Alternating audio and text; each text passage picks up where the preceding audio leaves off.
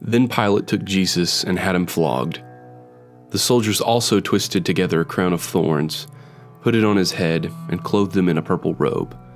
And they kept coming up to him and saying, Hail, King of the Jews, and were slapping his face. Pilate went out again and said to them, Look, I'm bringing him out to you to let you know I find no grounds for charging him.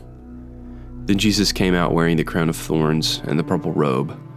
Pilate said to them, Here is the man. When the chief priests and the temple servants saw him, they shouted, Crucify! Crucify! Pilate responded, Take him and crucify him yourselves, since I find no grounds for charging him. We have a law, the Jews replied to him, and according to that law, he ought to die because he made himself the Son of God. When Pilate heard this statement, he was more afraid than ever. He went back into the headquarters and asked Jesus, Where are you from? But Jesus did not give him an answer. So Pilate said to him, Do you refuse to speak to me? Don't you know that I have the authority to release you and the authority to crucify you? You would have no authority over me at all, Jesus answered him, if it hadn't been given you from above. This is why the one who handed me over to you has the greater sin.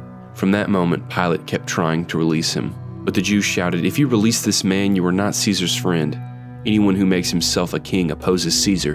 When Pilate heard these words, he brought Jesus outside.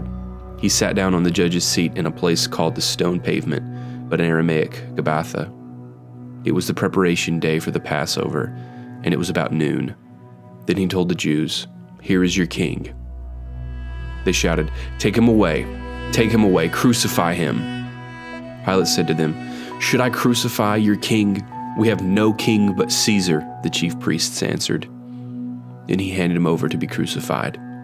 Then they took Jesus away. Carrying the cross by himself, he went out to what is called Place of the Skull, which in Aramaic is called Golgotha. There they crucified him and two others with him, one on either side, with Jesus in the middle.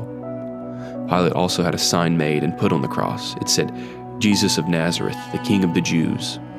Many of the Jews read the sign because the place where Jesus was crucified was near the city, and it was written in Aramaic, Latin, and Greek. So the chief priests of the Jews said to Pilate, Don't write the King of the Jews, but that he said, I am the King of the Jews. Pilate replied, What I have written, I have written. When the soldiers crucified Jesus, they took his clothes and divided them into four parts, a part for each soldier. They also took the tunic, which was seamless, woven in one piece from the top. So they said to one another, Let's not tear it, but cast lots for it, to see who gets it. This happened that the scripture might be fulfilled that says, They divided my clothes among themselves, and they cast lots for my clothing. This is what the soldiers did. Standing by the cross of Jesus were his mother and his mother's sister Mary, the wife of Clopas, and Mary Magdalene. When Jesus saw his mother and the disciple he loved standing there, he said to his mother, Woman, here is your son. Then he said to the disciple, Here is your mother. And from that hour the disciple took her into his home. After this, when Jesus knew that everything was now finished, that the scripture might be fulfilled, he said, I'm thirsty. A jar full of sour wine was sitting there. So they fixed a sponge full of sour wine on a hyssop branch and held it up to his mouth. When Jesus had received the sour wine, he said, It is finished. Then bowing his head, he gave up his spirit.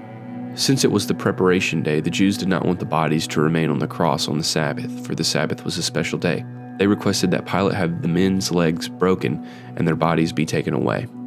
So the soldiers came and broke the legs of the first man and of the other one who had been crucified with him. When they came to Jesus, they did not break his legs, since they saw that he was already dead.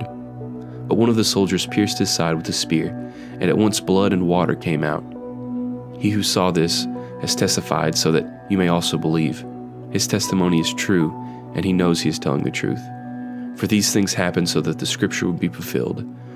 Not one of his bones will be broken. Also, another scripture says, They will look at the one they pierced.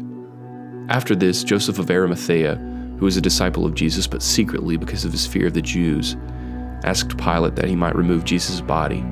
Pilate gave him permission, so he came and took his body away.